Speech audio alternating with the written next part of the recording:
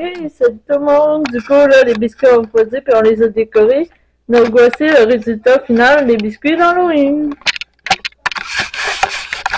Donc, vous voyez, des beaux biscuits d'Halloween, tout bien décorés.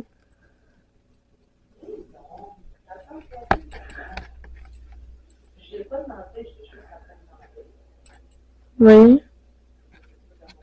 Là, petit détail, j'en ai fait euh, deux que, vous voyez, il y a un peu le corps séparé, tout ça. Donc, vous voyez, ça donne des beaux biscuits d'Halloween. Si vous avez aimé, laissez un pouce bleu, puis euh, abonnez-vous, puis euh, activez la cloche parce que je, je fais d'autres vidéos cuisine. Et j'espère que cette vidéo vous a plu, puis que vous avez eu des bons moments, puis que vous adorez la cuisine. Sinon, ben, à la prochaine. Salut!